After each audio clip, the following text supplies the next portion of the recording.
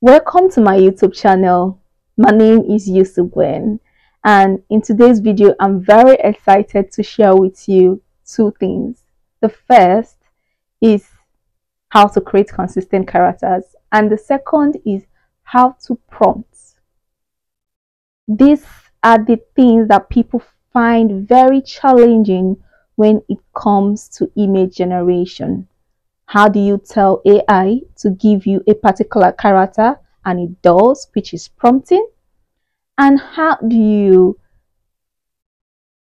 generate consistent characters? How do you make your image to look the same in different scenes, which is generating consistent characters? And in today's video, this is what we are going to learn. So if you are interested, I would like you to like this video and I would like you to stick to the end of this video because the second part of this video is how to prompt and the first part of this video is how to generate consistent characters. So subscribe, like, and let's get straight to the video.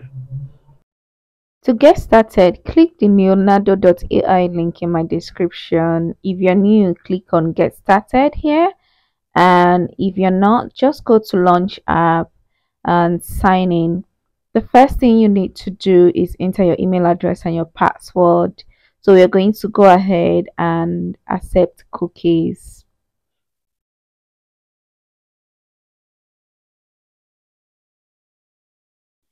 After that enter your email address sign in and you will be redirected to the main page Leonardo gives you 150 daily credit to be able to create your characters.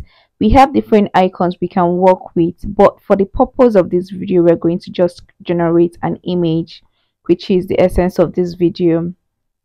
Here, you'll be asked to type in your prompt. Uh, for the purpose of this video, we're going to use a simple prompt. Here, our prompt is create a beautiful image of Guinevere in the forest as you can see this is just a simple prompt. So Leonardo doesn't know the exact character you're looking for. It is going to give us a random image of Guinevere in the forest. So let's see what we we are going to get.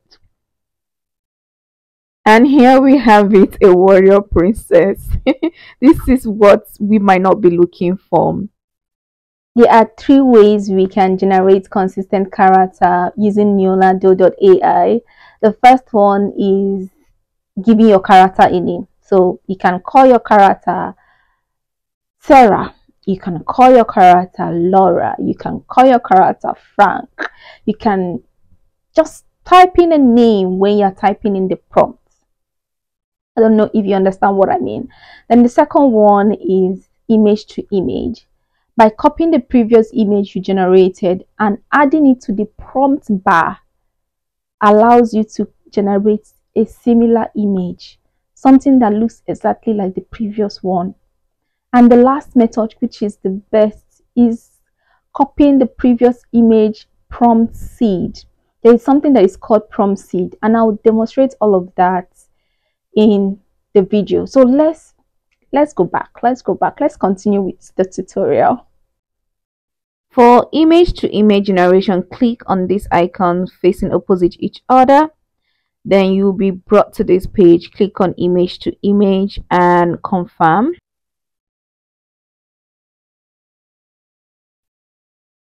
The preferred image will be added to the prompt bar and we can decide to modify our prompt by adding additional text to it or by adding additional information to it and we are going to see if we'll still get the same Guinevere. So we are going to say create a beautiful image of Guinevere in the forehead by with a, a dog by her side. So let's see if we are going to get the same Guinevere uh, with a dog by her side or not. Let's see what we are going to get now.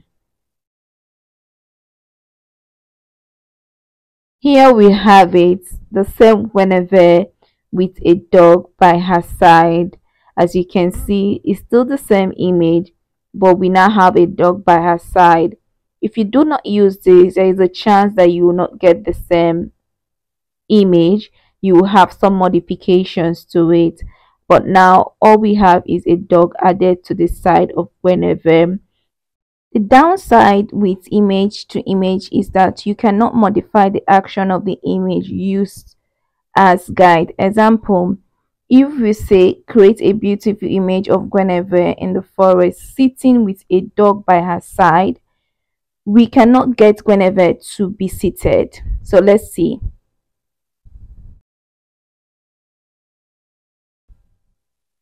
As you can see, Guinevere is standing while the dog is sitting. This is the downside of image to image generation. You can hardly change the action of the character, but the other elements can be changed um, while you struggle with changing the action of the character. Even when you try to generate it again, it will still remain the same. You still get the same result. You still get the same Guinevere standing up you cannot change the action but you can change the other elements like the dog the background and other things but Guinevere will be the same so let's see what we'll have. Um this is a second trial. So this is a dog sitting by Guinevere is still standing up. Um so this is the challenge we have with image to image generation. What do we not do? So what we can do is use what we call seed. By deleting the image then you copy the seed of the generation. So how do you do this? Click on the three dots at the right side above the image and click on copy seeds. Now go to your prompt and paste the seed. Click on generate. This is the same prompt but a seed is added. Let's see what happens now. Let's see if Guinevere will be sitting down now we have deleted the image but we have the seed. Let's see what happens. Now you see Guinevere is sitting down. So this is how it's done. This is the secret um copying the seed. Is the secret to changing the action of the character, the main character. Now let's try and modify our prompt. Let's add another action to it. Let's say maybe let's Guinevere be in another location like a lake.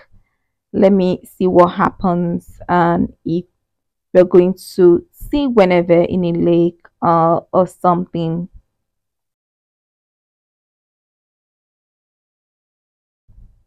and here we have it Guinevere is standing on the lake and we can decide to do whatever we want with this image.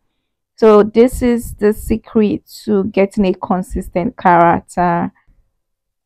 So now we are done with the first part of the video and we are going to move to the second part. This second part is about prompt guide. What do you add in your prompt to get the exact image you're looking for? If we if you notice we just gave a simple prompt about generate a beautiful image of a 23 year old girl in a forest that prompt is nothing. And leonardo just gave us a random warrior girl which most likely is what i am not looking for or what you will not be looking for. So this second part i'll teach you how to prompt. I'll teach you what to add in your prompt to get exactly what you're looking for. So prompting is the major thing to getting what you want. And here, this is how to go about it. So the first thing is you have to choose an AI model. Example, vintage 3D model, you name it. The second thing you need to do is to name your character. So if you notice I named my character Guinevere, this allows you to create consistent character even after modifying the description. Alright. Thirdly, you need to describe the age of your character. How old is your character? My 23 years, like we described. So, fourthly, the race. Is your character black, white, Asian, Caucasian?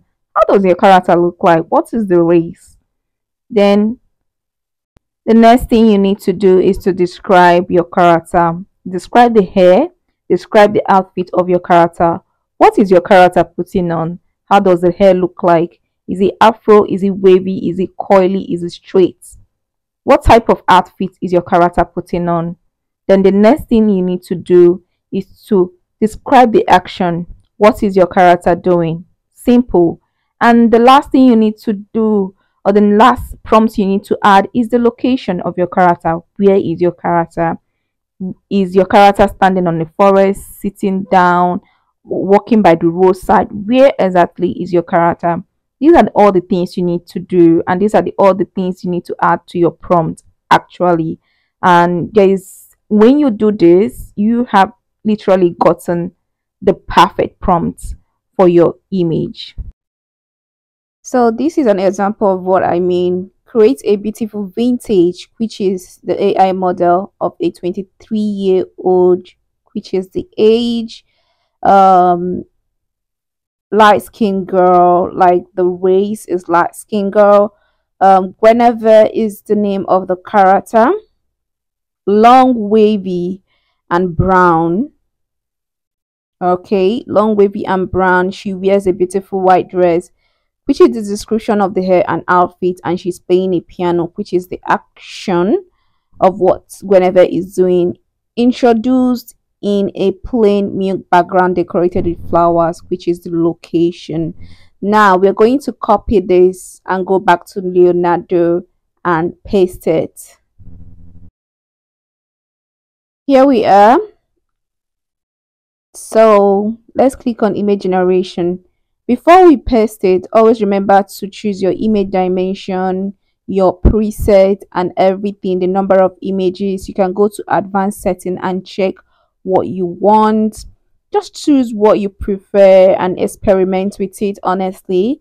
But we anything can work, any selection can work provided we are using the right prompt, okay? Now let's paste it and see what results we are going to get when we click on generate.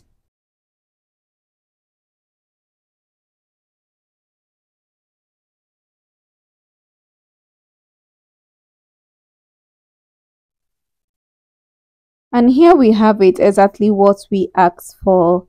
So this is a beauty image of a 23 year old and her hair is wavy and long she she wears a white dress like described. She's playing a piano like described. Her background is milky and decorated with flowers as described. So in general, I'm pleased it gave me exactly what I asked for. Yeah, this is this is very beautiful, very very beautiful. Um, exactly what we asked for. What we ordered is what we got. so this is so cute, very beautiful. You can decide to download it to your PC or to your phone.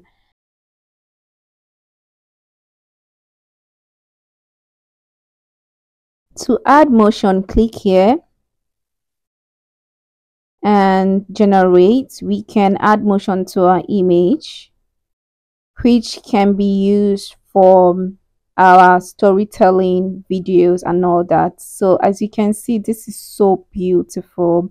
Let's view it and see how it looks like. This is stunning. We have come to the end of the video. Please like. Please like and subscribe if you enjoyed this video. Um I enjoyed the making of the video and ask questions if you have any.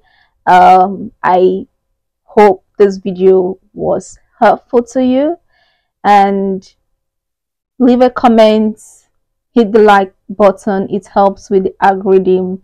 It helps to reach out to more people so that I can be encouraged to make more videos for you. All right. Thank you so much. See you in my next video. Bye.